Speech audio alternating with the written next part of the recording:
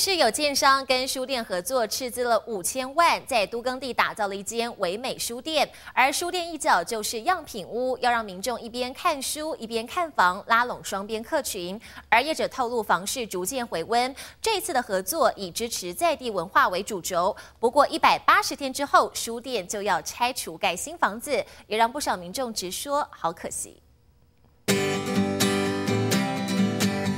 书本排列整齐，咖啡厅木桌椅杨梅树，这里可不是国外，是台北一间快闪书店。仔细一瞧，角落里竟然是一间样品屋，民众坐在床上聊天，窝在沙发上看书，就像自己家。原来有建商看准书店的亲民商机，两者合作，将这都更后的六百多平空间细心打造，卖书卖房。开幕首日吸引超过四百人次。平常如果下午来，可能喝点咖啡，然后吃点点心，应该还蛮不错的。书店的话，这在如果是在社区。里面营造的话，我觉得还不错，就是能结合起来，对整个社区。